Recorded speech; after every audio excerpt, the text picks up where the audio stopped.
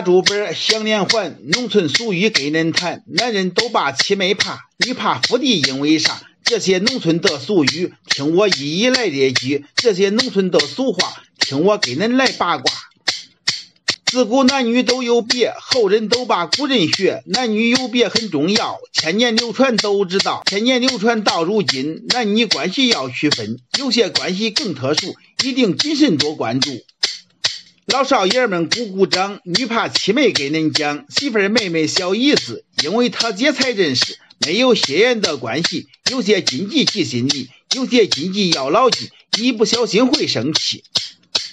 关系不能太亲密，风言风语要顾忌，破坏夫妻的感情，姐妹矛盾也形成，关系也不能疏远，小心妻子会不满，说你对她妹不好，整天怄气把事儿找。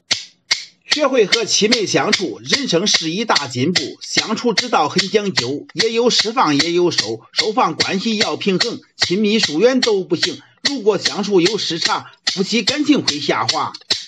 老少爷们都听真，女怕夫弟有原因。丈夫弟弟叫小叔，也是关系很特殊，关系不好来拿捏，相处之道有秘诀。丈夫弟弟如何处？听我给恁来讲述。因为小叔年龄小，公婆都会当作宝，相处不好惹是非，有时婚姻也告吹，夫妻关系不和谐，严重时候闹分别，严重时候把手分，都是福地的原因。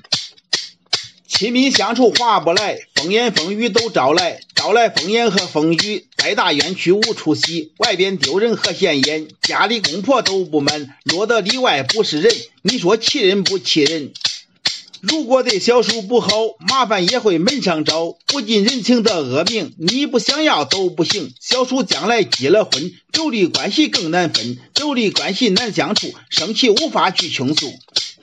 两种关系处不好，天天生气，天天吵，家庭生活不和睦，社会咋能去进步？总结相处的经验，小心惹上大麻烦。希望彼此多珍惜，别太疏远，太亲密，不远不近来相处，别让亲情成陌路。那个成陌路，农民就是累，农民就是累，地球人都知道我做人很狼狈，金钱是玫瑰。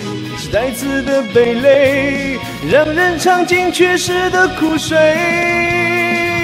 农民就是累，农民就是累，全世界都知道你赚钱很疲惫，用你的汗水来换真和美。农民受苦受累，谁安慰？谁安慰？